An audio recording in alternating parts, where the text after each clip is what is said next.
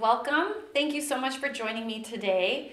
My name is Alyssa Powell, and I'm excited to talk about clarinet breathing with you, specifically related to the anatomy and physiology of breathing.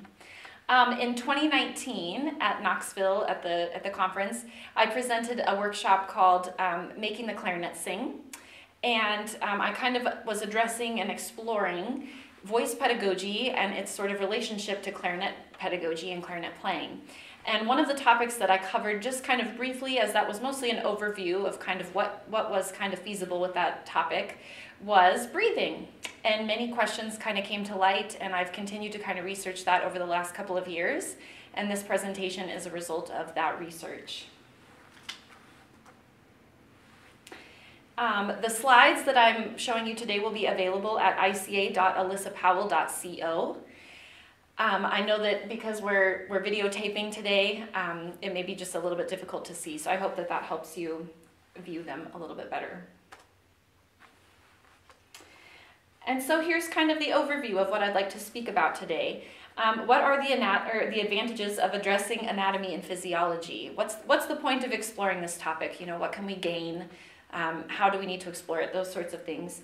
Um, and then providing just sort of a basic introduction to anatomy and physiology. Obviously, that is a really, really big topic, um, but there are definitely things that are applicable today, things you can think about and apply right away that, that um, aren't actually that difficult to conceive of and not difficult to teach either, really.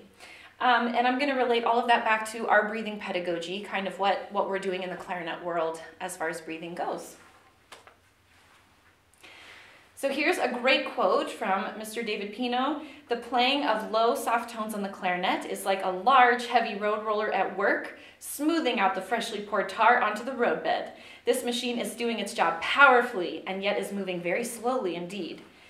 The air does not move rapidly, but still must move with great force. And I like this quote. I think he provides a lot of visualization for the student to kind of latch onto, um, some figurative language that's, that's interesting and um, kind of some sensation-based um, ways to kind of think about breathing that the student can use, right? So these are the ways that we are already thinking about and teaching breathing. Visualization, um, for example, comparing the, the breath to the same as it should be for blowing out a candle, as Daniel Bonade suggests. Um, figurative language, sensation-based.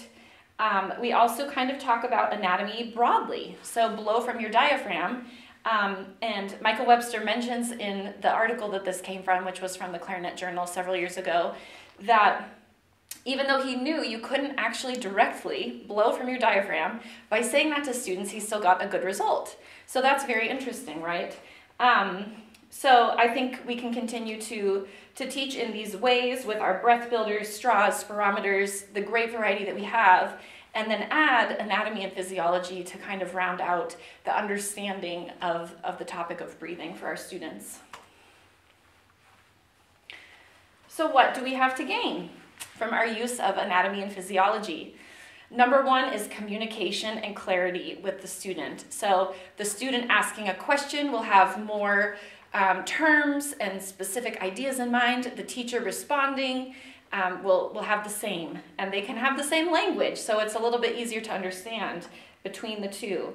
Um, what I found is there are just hundreds of words that are used differently um, and the same, but different words um, in breathing. So for example, tummy, stomach, abs, abdomen, abdominal region, belly, ab muscles, abdominal viscera, diaphragm, all might be used to um, sort of talk about the exact same part of the body with the student, but actually are all very different parts of the body or kind of ways of thinking about the body. So we know that we cannot physically breathe into our stomach, or if we do, that's really not comfortable and, and not useful. Um, but also, you know, similarly, saying the tummy or abdominal region, that may kind of cause the student to think about breathing a little bit differently or that area of their body differently. So kind of unifying those terms can be really, really helpful um, for the student. This can also help us lead to more specific application of breathing methods, right? If the student knows the parts of their body well, then they can, you know, ask better questions. They can apply what they're doing as they breathe in another way, another way, not always a better way, but another way from what they may have already been doing. Um, immediately when doing this research, I had in my head, you know, snippets of advice and suggestions from former teachers and realized all the different methods of breathing that I've been taught. And so at times in my life, I've had a clarinet teacher, a voice teacher, a band teacher, a choir teacher, and all are suggesting different things. So it's really important to be able to actually recognize that we have different methods. There's not just one right method.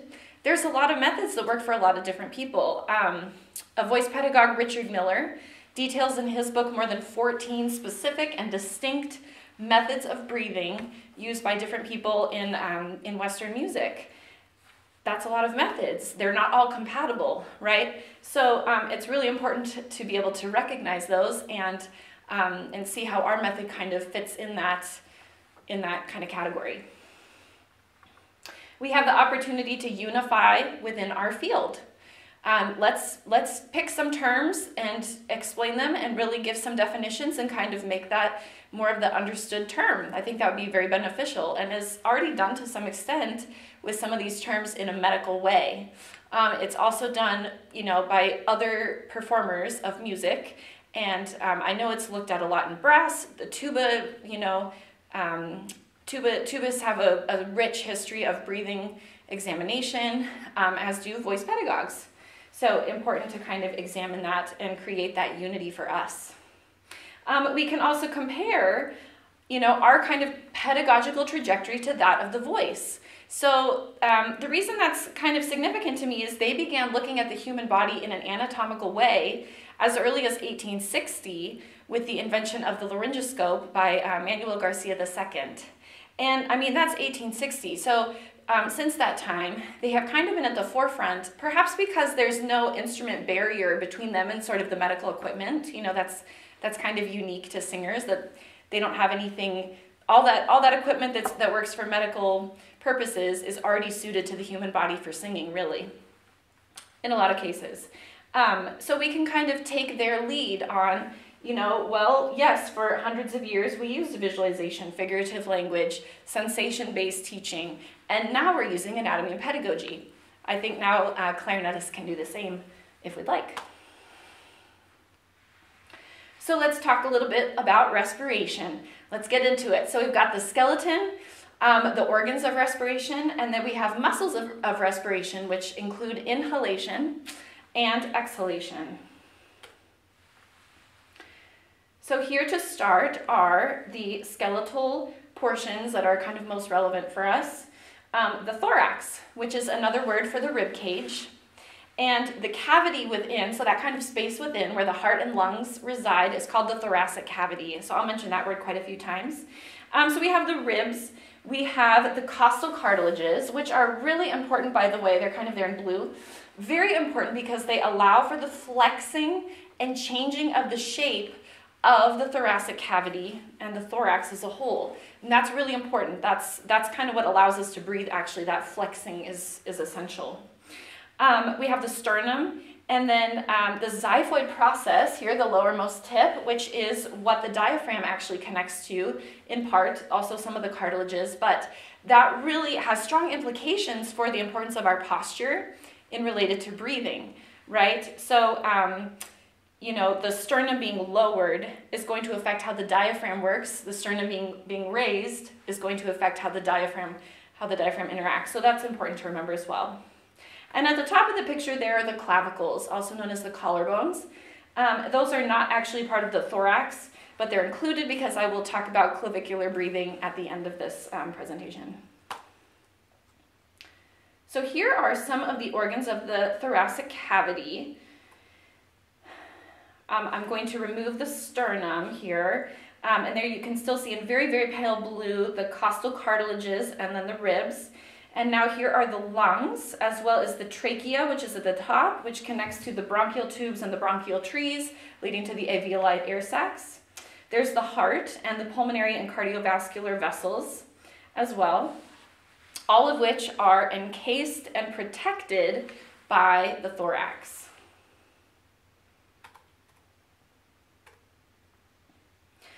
All right, so that brings us specifically to the lungs, now that we kind of see how that is in conjunction with the rest of the body. So they're organs, they're not muscles, and that's really important to remember. They cannot move of their own accord, but are actually manipulated by other muscles in the body. Um, they're tissue that's described often as spongy, made of the millions of alveoli air sacs. Um, and then we can see there also we have the bronchial tubes, which lead to the trachea, which leads to the larynx. Um, the larynx, of course, refers to the voice box, um, so that's important to recall. And the trachea is um, partially comprised of cartilage. And this is important because that means that it has some flexibility. So as we breathe, the trachea may have a little gentle pull in it. And, and one of the theories that is um, brought up in his resource, um, uh, Your Voice An Inside View, by Dr. Scott McCoy, who's a, who's a great voice pedagogue, um, one of his suggested um, theories about the trachea is that as you breathe in and the trachea gently pulls down, it tugs ever so slightly on the larynx and helps create a more open throat. So when you think about how we're teaching a student to work on open throat, right, instead of just isolating, saying you need to open your throat and use these muscles or think about the larynx or whatever, it actually could be more of a product of breathing and we could address that more with a more holistic approach to breathing, realizing the, the connection that the lungs are connected to the bronchial tubes, connected to the trachea, connected to the larynx. All of that is kind of a more holistic way of thinking about that idea. They're surrounded by the pleural membranes, and these membranes, um, the outermost membrane, interacts directly with the thoracic cavity. And with the expansion and contraction of the thoracic cavity, there's this gentle pull on those membranes that also pulls the lungs with them. That's kind of the motion of the lungs is um, quite delayed really when you think about it. It's not, it's not very direct. Um, Boyle's law is an important concept related to breathing. Um, Boyle was a 17th century scientist and he discovered that with a closed container, the volume and pressure are inversely related. So that means if you have a container and it becomes smaller, the volume is decreasing because it's becoming smaller. The pressure inside is greater. And so for breathing, that's really important um, for us. Um, as you see, we have the inspiration here. The blue arrows show the air coming in. And so the diaphragm and external intercostal muscles, those are muscles between your ribs, the external intercostals, the diaphragm contract. This causes the thoracic cavity to expand a bit which allows for a lower pressure inside the thoracic cavity than in the atmosphere, and air pours in. And the opposite is true for expiration. So as the diaphragm relaxes, the external intercostal muscles relax, and the, the space becomes smaller, we have more pressure that moves the air out of the body out into the atmosphere.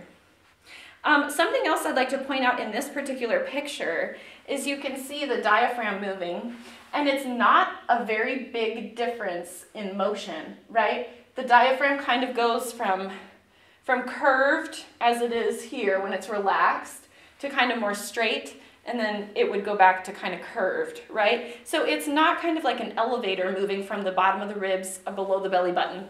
Um, I think when teachers um, believe that that's what the diaphragm is doing. What they're really feeling, actually, is the gentle displacement of the abdominal viscera.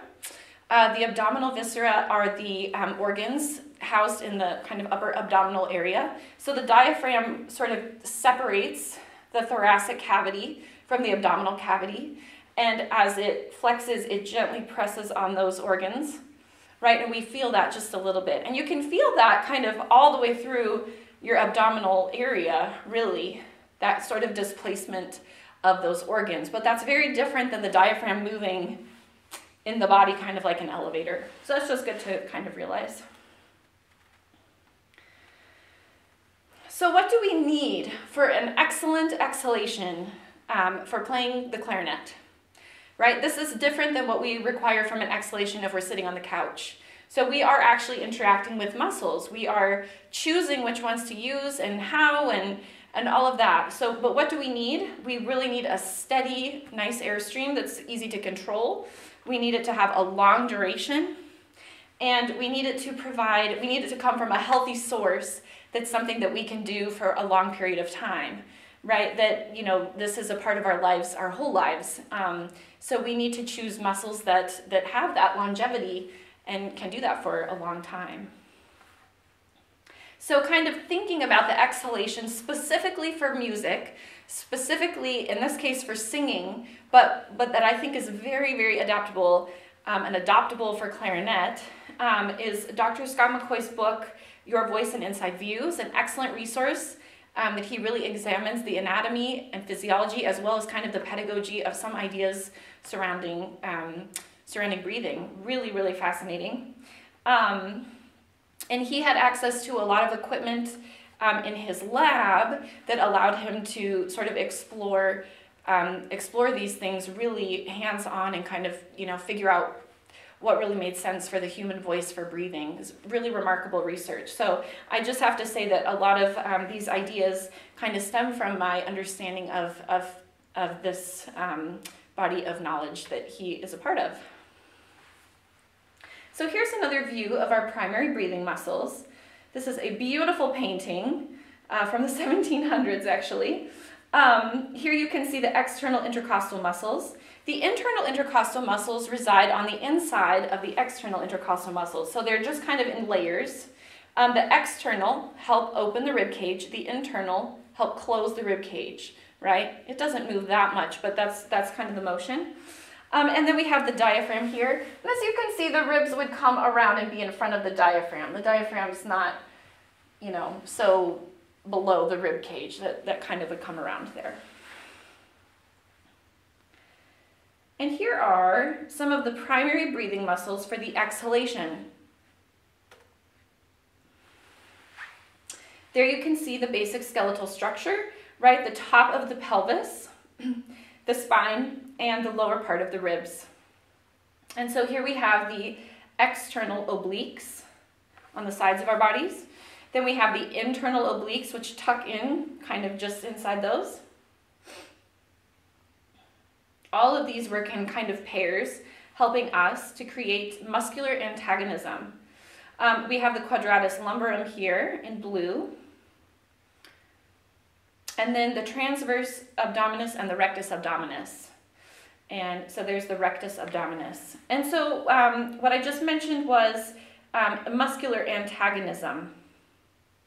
So what I mean by that is as, as one muscle contracts, we're using another muscle to kind of fight it, um, to kind of maintain the air so that it doesn't escape right away. So when we inhale, um, through muscular antagonism, we kind of maintain some of the motion or feeling of the inhalation so that the air doesn't rush out.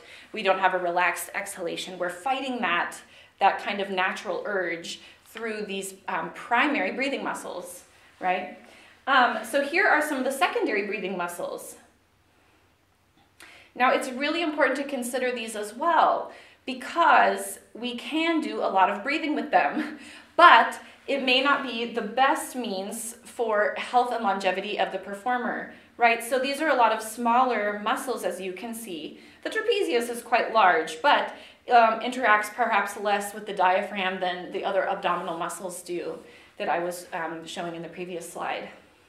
So we have the sternocleidomastoids, the levator scapula, the scalene muscles, and the trapezius.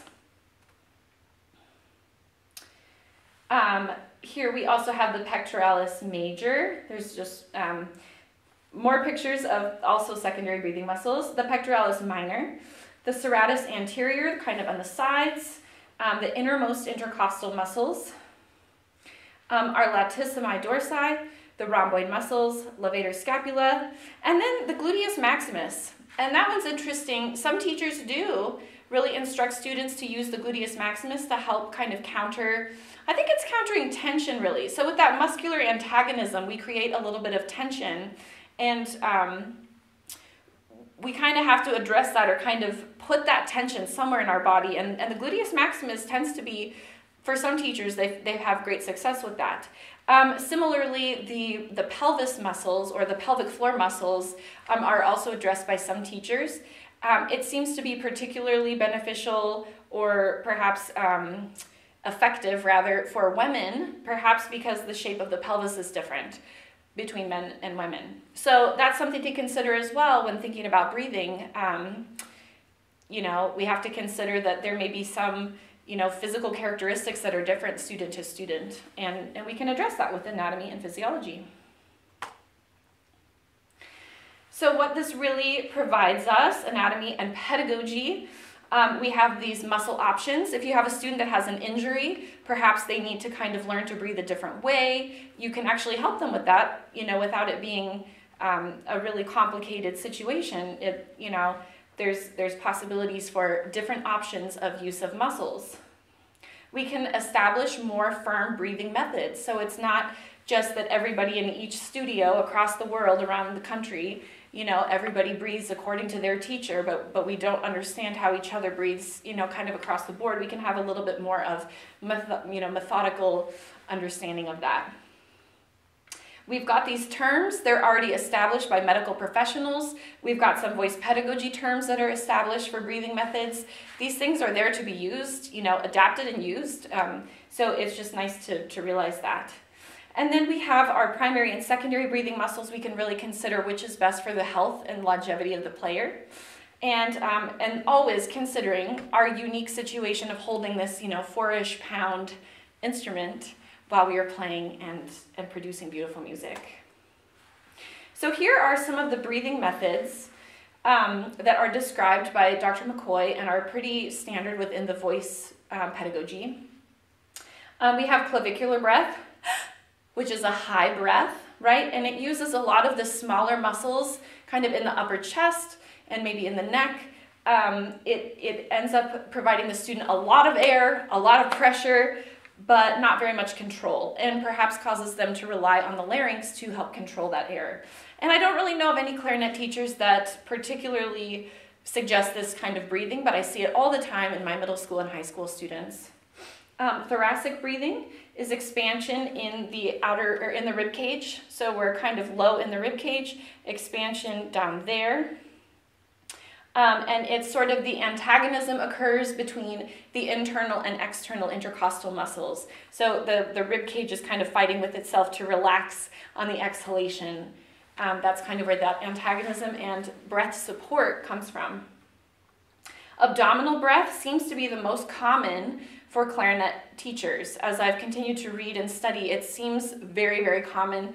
This seems to be what we're advocating. So basically, whatever muscle you relax in the abdominal area on the inhalation is kind of where the breath will go. And then that's kind of where the antagonism happens on the exhalation. So if I relax the rectus abdominis while I breathe in, then when I breathe out, then I'm going to have some muscular antagonism there. I might push out a little bit or pull in depending on the teacher. And, um, and that antagonism provides me with the support and control I need to, to keep my air under control. That's really a universal breathing method though. You can also do the same in the um, obliques. And if you do a small amount of expansion and a small amount of sort of tension on the release, that's the inner tube breath. We also have the balance breath or appoggio, which is a very popular breathing type for, um, for singers. And it's actually a combination of thoracic and abdominal.